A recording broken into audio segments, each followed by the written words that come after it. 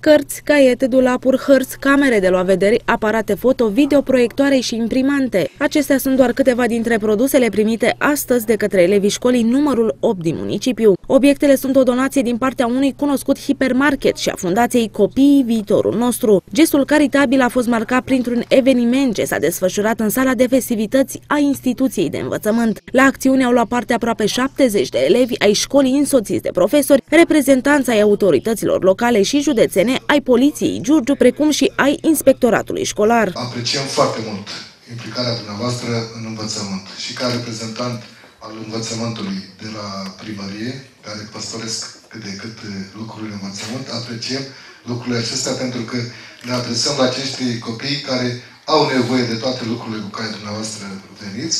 Sper că acest eveniment o să fie în sprijinul dumneavoastră a cadrelor didactice, a copiilor din această școală și pe mine mă leagă multe amintiri de această școală. Sunt cel care a, a bătut primiți țăruși pentru realizarea acestei uh, uh, școli.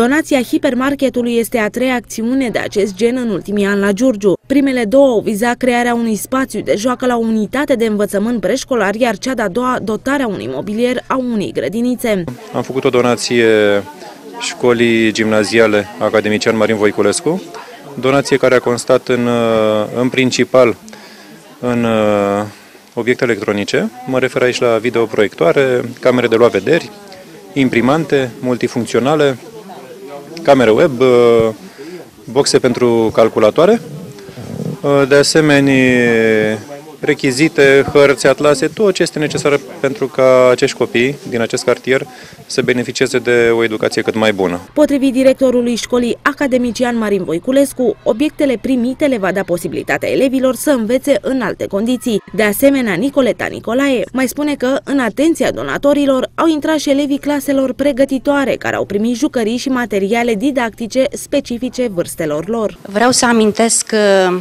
acele produse care ne ajută foarte mult mult în diseminarea activităților educative școlare și extrașcolare. E vorba de videoproiectoare, 21 la număr, uh, multifuncționale laser, 10 la număr, 21 uh, de videoproiectoare, 20 uh, de aparate foto, 4 imprimante HP, Iată o sumedenie de materiale. Vreau să amintesc și de dulapurile câte două dulăpioare de, de sală de clasă. Avem 84 de dulapuri primite.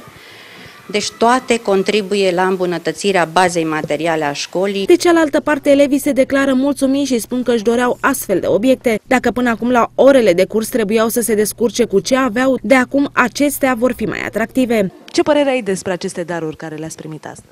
Mi se par foarte frumoase și mă bucur, mi le doream de mult uh, din semestru 1 pe acestea, aceste lucruri ca să învățăm mult mai bine și să devenim cât mai deștepți. Cât de mult te vor ajuta?